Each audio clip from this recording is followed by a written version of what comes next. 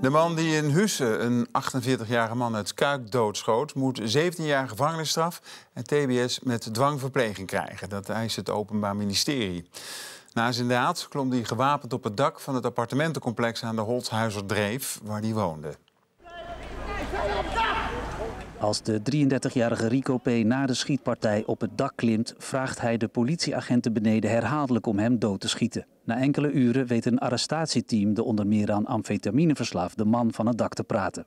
Het is 13 augustus 2021. Zijn vriendin was die fatale dag haar huis uitgevlucht uit angst voor haar vriend. Haar stiefvader uit Wiegen en haar oom uit Kuik besluiten daarop naar het appartement te gaan om hem eruit te zetten. Dat loopt waanzinnig uit de hand. Rico P. schiet de oom van zijn vriendin door het hoofd. Verklaard verdachte, dat was helemaal niet de bedoeling, maar zo ging het wel, zeg maar. Bam, toen schoot ik hem door zijn hoofd heen. Als haar stiefvader probeert te vluchten, wordt ook op hem twee keer geschoten.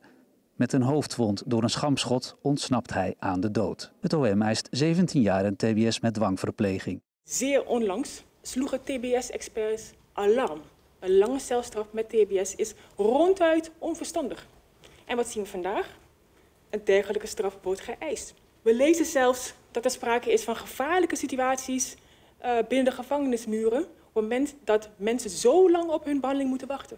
Bij een huiszoeking werd een enorme hoeveelheid wapens aangetroffen, waaronder drie vuurwapens en honderden kogels.